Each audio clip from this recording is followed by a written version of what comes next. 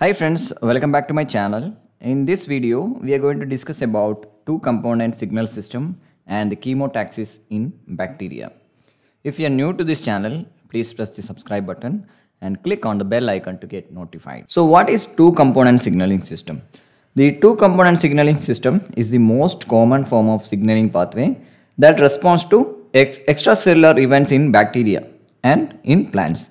Canonical two component system in bacteria consists of a sensor that is an autophosphorylating histidine kinase and a response regulator which transfers the phosphate from sensor kinase to a conserved aspartate within the same domain. The sensor histidine kinase is located in the membrane and it can be activated by binding a ligand that is in the extracellular medium.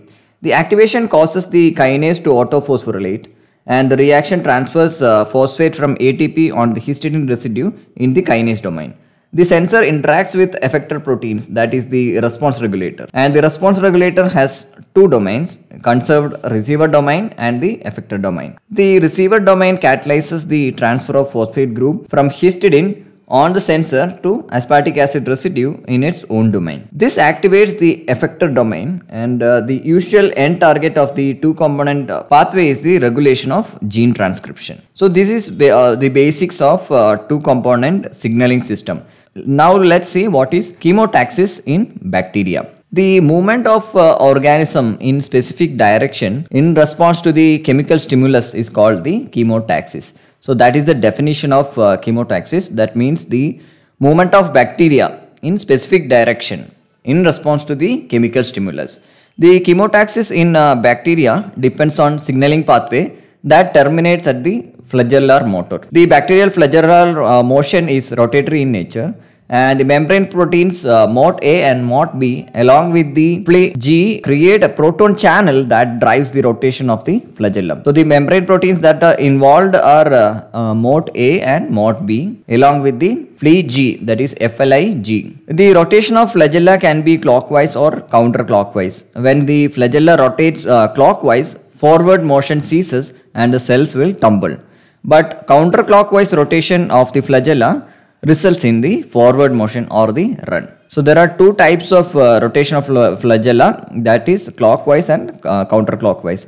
So clockwise uh, results in the tumble and the counterclockwise result in the forward motion or the run. In the absence of uh, chemical gradient, the bacteria such as E. coli move in random fashion that includes runs where the cell is um, swimming forward and tumbles when the cell stops. That is the uh, general uh, phenomena when there is no when there is an absence of chemical gradient this moves in a random uh, fashion. Following a tumble the direction of the next run in the cell is random However, if a gradient of chemical attractant is present, these random movements become biased. The absence of chemical gradient results in the random movement, but where is uh, presence of attractant, this can be biased. As the bacterium uh, senses uh, that it is moving towards higher concentrations of the attractant, the runs becomes longer and uh, tumble less frequent. So presence of attractant results in more of um, forward motion and less of a tumble. And if the bacterium is sensing a repellent, the same general mechanism applies, although in this case, it is a decrease in the concentration of repellent that promotes the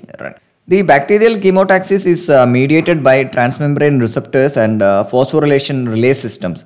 And it depends on a two component uh, signaling pathway activated by histidine kinase associated receptors. So, this we have already discussed in the beginning.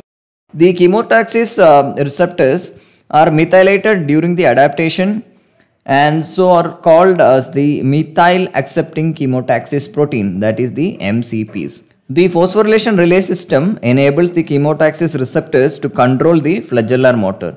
In E. coli, the binding of repellent increases the activity of the receptor which binds uh, a CheW or the adapter protein and CheA or the sensor protein that act as a histidine kinase thereby stimulating CheA to phosphorylate itself on the histidine. So there are two proteins involved that is the adapter protein and the sensor protein. The adapter protein is also known as the CheW and the sensor protein is called as the CheA. So the G, uh, CheW results in the uh, phosphorylation of uh, CheA on the histidine domain and the CheA quickly transfers the covalently bound uh, high energy phosphate directly to aspartate of CheY that is the response regulator to generate uh, CheY phosphate. So what happens is uh, CheW the adapter protein and CheA binds to that and autophosphorylates and this transfers the phosphate to the CheY that is the response regulator. The phosphorylated CheY uh, dissociates uh, from the receptor and diffuses through the cytos, uh, cytosol and binds to the flagellar moton and causes it to rotate clockwise. The resulting is tumbling. So phosphorylated state of uh, CheY remains only for few seconds. The protein CheZ accelerates the dephosphorylation of uh, CheY phosphate thereby inactivating it. So there is another protein called the CheZ that dephosphorylates the uh, CheY to stop the movement. The binding of an attractant has opposite effect. It inactivates the uh, receptor and therefore decreases the phosphorylation of uh, Chi and CheY which result in the counterclockwise flagellar rotation and resulting in the forward motion or the run. Each of the phosphorylated intermediate decays in about uh, 10 seconds enabling the bacterium to respond very quickly to changes in the environmental factors. The response to an increase in the concentration of attractant or repellent is only transient even if the higher level of ligand is maintained as the bacteria desensitize or adapt to the increased stimulus.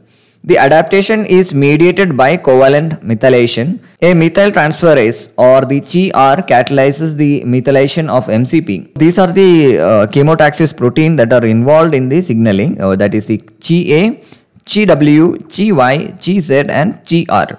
So CheA for cytoplasmic uh, sensor kinase.